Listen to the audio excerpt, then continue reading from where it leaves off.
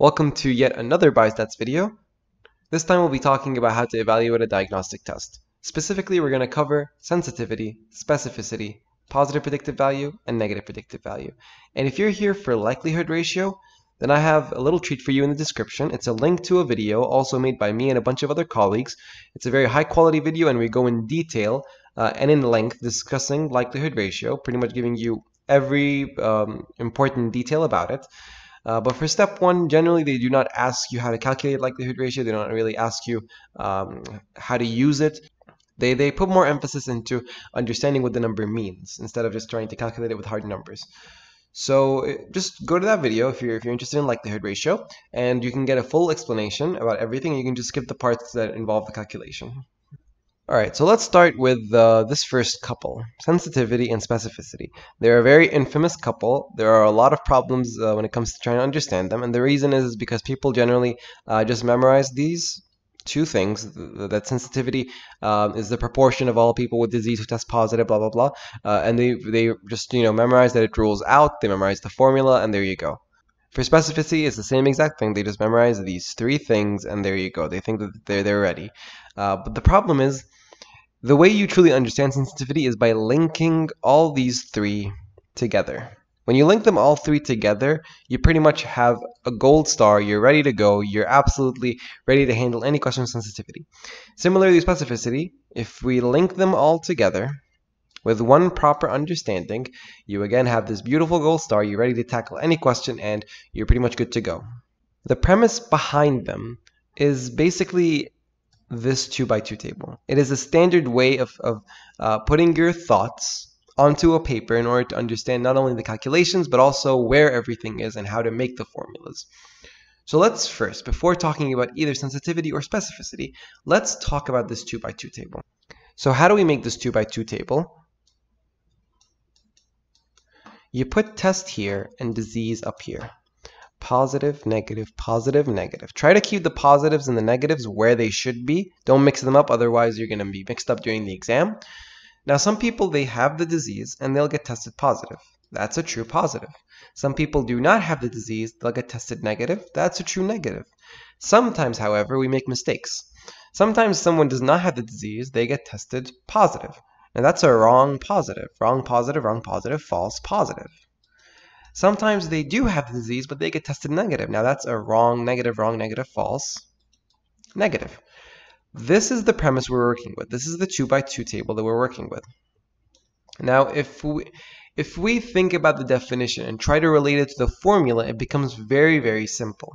The definition of sensitivity is the proportion of all people with the disease. All of the people with the disease who test positive, who test positive. These guys.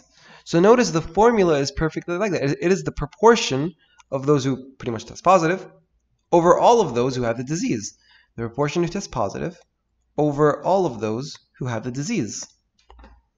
When you think about specificity, proportion of all people without the disease, that's all of these guys, who test negative, and that's these guys.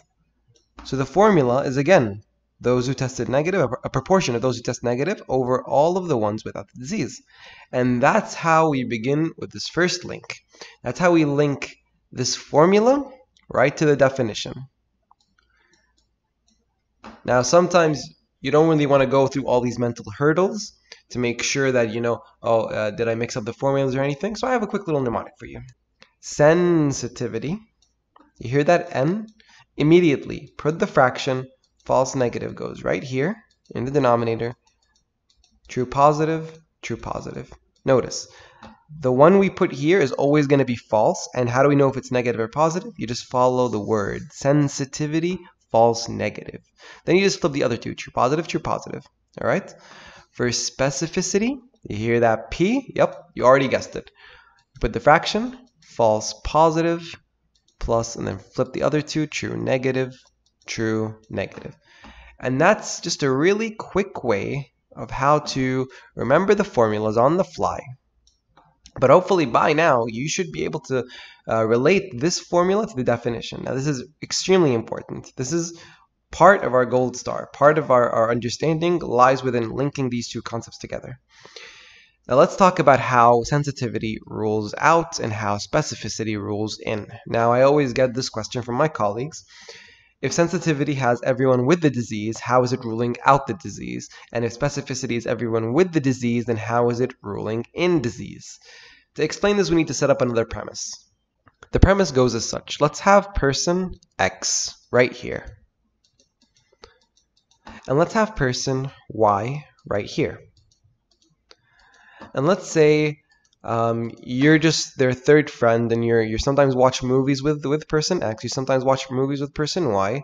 Uh, and you sometimes, let's say you uh, go up and go get a snack and you come back, sometimes you find them crying because there's an event happening in the movie. Uh, let's say sometimes you watch Titanic sometimes you watch um, another sad movie. For example, let's say uh, Romeo and Juliet. I'll just call it Romeo. And uh, let's let's just pick another third film that's pretty sad. Let's pick uh, The Fault in Our Stars. I'll just call that Stars. All right. So sometimes, let, let's say um, person X is sensitive and person Y is uh, specific. Now, go, go back to your layman term for, for sensitive and specific. Sensitive is someone with the heightened senses, someone that doesn't let anything go by, yada, yada, yada. In this case, person X is so sensitive that if, if he watches any of these three movies, he will always cry. Person Y is so specific, he'll only cry when he watches Romeo and Juliet. Now you can already see where I'm going with this. Sensitivity rules out because if you come back and you see that he does not cry, you can rule out all of these three movies. You weren't watching any of these three movies because he's very sensitive, he'll cry on any of them. However, if he does cry, it could be Titanic, could be Romeo, and could be Fault in Our Stars. Now you can already see where I'm, where I'm going with this. If, if you're interested in a particular disease, in this case Romeo and Juliet, and you find that the patient is crying, in other words, the test is positive, you're not sure. It could be the Titanic, it could be maybe an endocrinological disorder, it could be a cardiovascular disorder, you're not sure. But, but if you wasn't crying, if the test was negative, you are sure it's none of these problems. You are sure that you can rule out these movies, you can rule out these diseases because it was negative. Again, that's where the rules out comes from. You can already see what I where I'm going with uh, specificity. So specificity, let's say you come back and he's and he's crying, you are sure that he's watching Romeo and Juliet.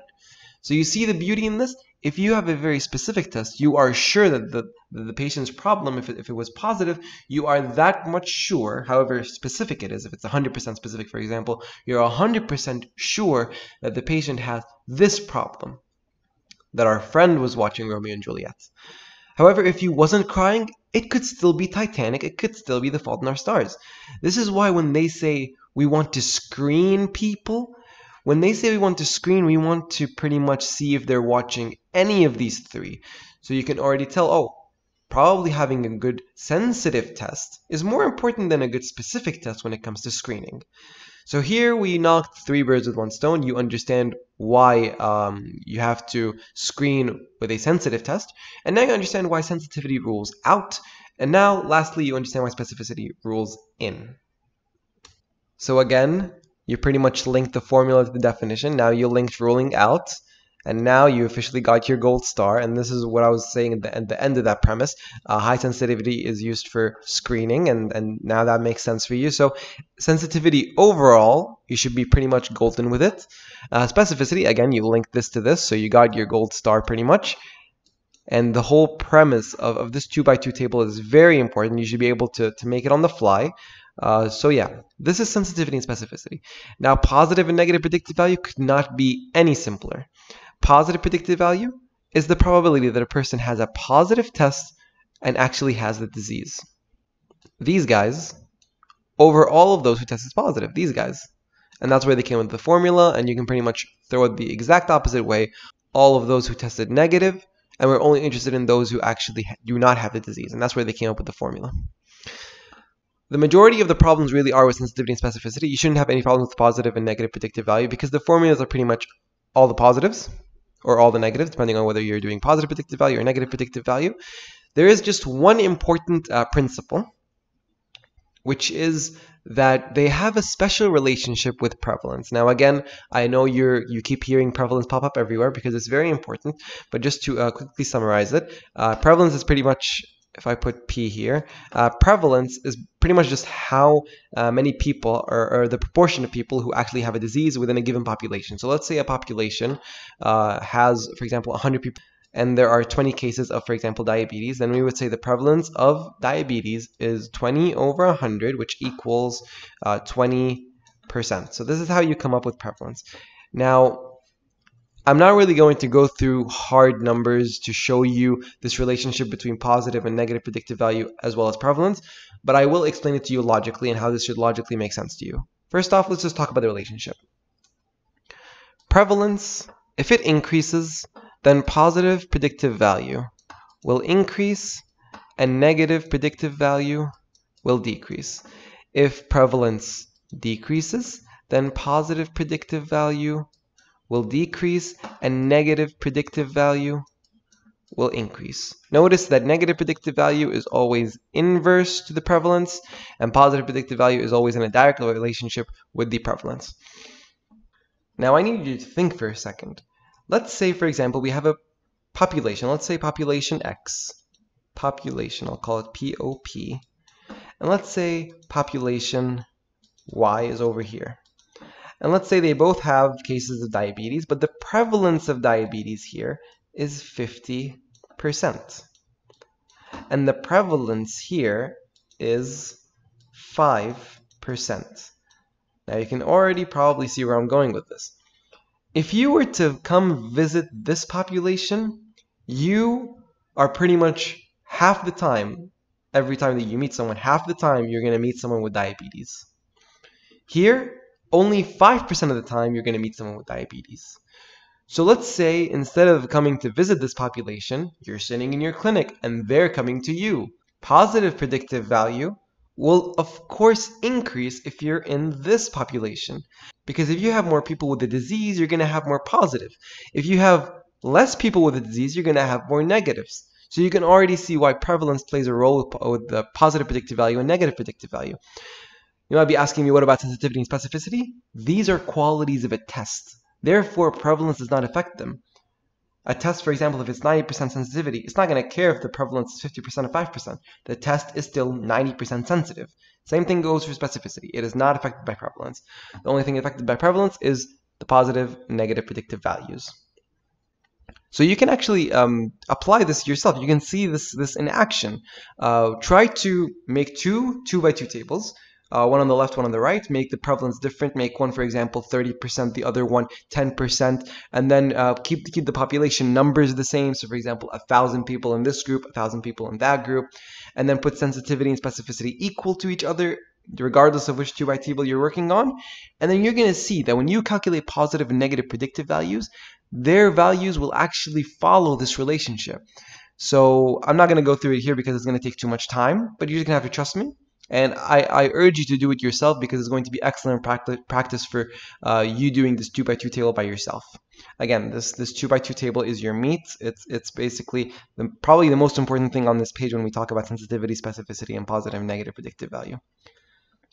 To wrap up this video, let's talk about this really important figure. Now you have the summary right here, but I don't really want you to cheat on this video. You can pretty much cheat if you're following with me on the book, but uh, for the purpose of this uh, video, I really want to, to help you focus on how you can come up with these numbers on your own. So let's sort of draw a very crude, crude, uh, it sort of looked like this. I'm not the best artist, but uh, yeah, so this, this, let's say this is the cutoff and this is the cutoff. So this is A, and this is B, and this is C. So it's a pretty good diagram. It's not the best diagram out there, but uh, let's focus on A, B, and C. So B is the usual cutoff for a specific test. They will they will not tell you that this is true negative and this is true positive. They, they will they will never label you this. They they you should be thankful if they actually even give you this diagram in a question. Okay. Usually what they just tell you is that they tell you the cutoff has went went from five to uh, for example six point 5. Let me fix that arrow. And from 5 to 6.5. And then they ask you what which of the following is true. And they tell you sensitivity, increase, specificity, decrease, um, negative predictive value, increase, so on and so forth. And they give you all these choices, and one of them is going to be correct. So uh, you should be able to figure out which one is correct. So the way I like to do it is first off, you should pretty much easily know whether whether the cutoff is going from B to C or B to A. Now let's just take this one step at a time. Let's say it's going from B to C. Okay, let's start with this. This is our, our, our first example. What I want you to focus on is what is happening to false positive and what is happening to false negative. Don't feel shy to actually draw this out in the exam. It'll be a lot better than just uh, thinking it in your head and making a mistake. So again, B to C, that means our, our false positives will be really small. They'll be really, really, really small. So if they're going to be really small, then if we go back to our formula, which you know you should think about in your head, but I was going to draw it here for you, uh, specificity, false positive, plus true, negative, true, negative. If this number goes down, this number, since it's, you know, in the denominator, this number goes up. Therefore, if there is any option saying specificity goes up, that is the correct answer. Now, just because you know specificity goes up, you can immediately know what happens to the rest of, of, the, the, answer choices. So if specificity goes up, you don't even have to calculate sensitivity. You know that sensitivity goes down without even doing the formula. If specificity goes up, sensitivity goes down. Moreover, if specificity goes up, positive predictive value also goes up because remember the formula also has this here. And negative predictive value will go down. So notice specificity and positive predictive value are similar. Sensitivity and negative predictive value are similar. They go in the same direction. So again, just figure out one and flip the rest because they're always going to be opposite to each other depending on uh, what's in the formula. So always remember this sort of theme. Figure out, is this decreasing or is this decreasing? Once you figure it out, you can pretty much map them all out. This will this should not take more than a minute. You draw this entire figure. This should take 10 seconds. You figure out whether false positive or false negative is decreasing. That should take another 10 seconds. And then you map all of these out. This maybe should take 20 seconds.